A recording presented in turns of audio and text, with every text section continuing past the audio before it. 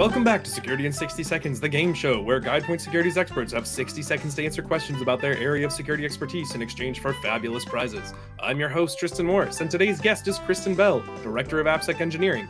Kristen, it's again a brand new day. How are you today? Wonderful. Kristen, you've clearly been working on your speed, but you'll need to be faster to win today's prizes. Speaking of which, today Kristen will be competing to win the headlining slot at next year's football halftime show and a year of training to prepare. Kristen, are you ready?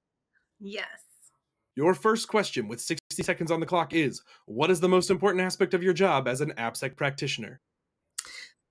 The most important aspect of our jobs is to be educators and mentors to development staff. Um, it, you know, we still work in this world where there is no outlet for developers uh, other than self education to get trained in secure coding um, without buying something or uh, you know being part of an organization that has an AppSec program. So we find that we are at in, at the very heart of what we do, teachers and mentors. Kristen, that was a fantastic answer. I've been told by our producers that I say fantastic too much, but you know what? I'm gonna lean in. I like the word fantastic.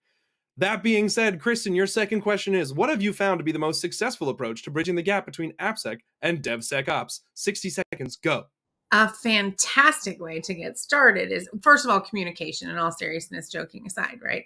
So we want to do a couple of things. We want to bring siloed development groups together um, to be on that same path and on that journey and to have exposure to one another and to be able to feed off of each other. So that is security champions program and then we also want to have a centralized location for all things appsec to self-service options for developers as well in conjunction with the security champions program what a fit I'm, no I'm, I'm gonna I'm, I'm gonna say it it's my show I'm saying, it, that, Kristen, that is a fantastic answer. Thank you so much. Your third question is What does a security champions program do?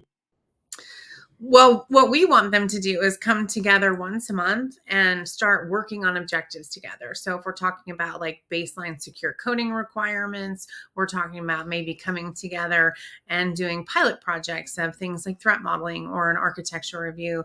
So, uh, but they're basically, it, it gives the developers a seat at the table. It's not always a democracy, but we want them to have a say in uh, and to be able to bring trouble to the table if they're struggling with something and all of those kinds of things. So it opens up those lines of communication, lets them feel like they have a seat at the table and are part of their own the the destiny of their own processes. And uh, it just it there's a whole lot of learning that happens as well. No, no, I'm gonna no, I'm gonna fine. A wonderful response, Kristen. Now, unfortunately, in previous episodes, where you've fallen apart is on this final question with only 30 seconds to go. So, Kristen, are you ready for your final 30 second question? I hope so. Excellent. Known for their burgers and fast service across the US and worldwide, McDonald's also serves a variety of other dishes in other countries. What special meal does McDonald's sell in the Philippines? 30 seconds and go. Five seconds of silence is not a great way to start your 30 second question. Kristen. You know, right? Something, something with seafood.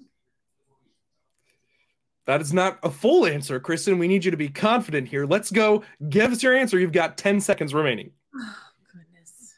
Um, uh, Unfortunately, Kristen, you are out of time. The answer we were looking for was spaghetti. Better luck next time. Thank you so much for joining us on today's episode of Security in 60 Seconds. For GuidePoint Security, I've been Tristan Morris. We'll catch you next time.